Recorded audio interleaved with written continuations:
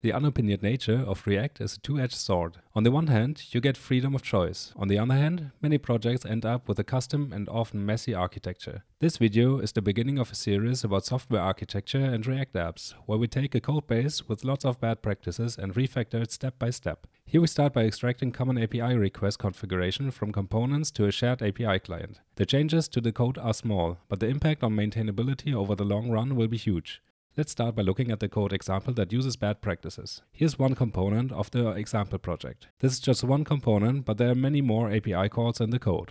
Why is this code bad? This code uses the same setup for each API request. Here, the base path API as example. If we change the API to, for example, use a different version in the path, like API v2, we'd have to change every request. If we wanted to add a header, for example for authentication, we'd have to add it everywhere. This is unmaintainable, especially in larger projects with lots of API calls. Additionally, any change to API requests in general would come with the risk that we'd miss updating one of the requests and break parts of the application. But what's the solution? Sharing the foundational request config between all requests is key.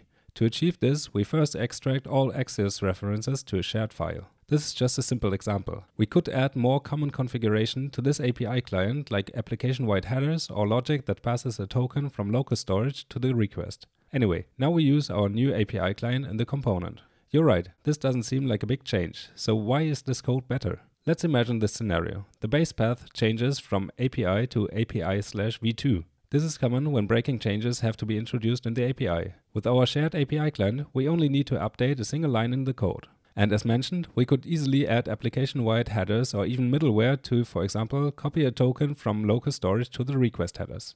What's next? The shared API client already improved the code big time. But if you think the code still doesn't look good, I agree with you. Using a shared API client was only the first step in the larger refactoring. In the upcoming weeks, we'll continue this journey. By the way, while I used Axios in this example, there's no requirement for it. In fact, Axios adds to your application's bundle size, while Fetch is supported natively, so there's good reason to ditch it. Fetch unfortunately doesn't come with the same convenience though, so we need a bit more code to create a shareable instance. This API client function ensures a default setup for each request while keeping the overall Fetch API intact. It might be worth creating a more abstract API client though. For example, you can also create a more Axios-like API with a JavaScript class. This API client can now be used like this.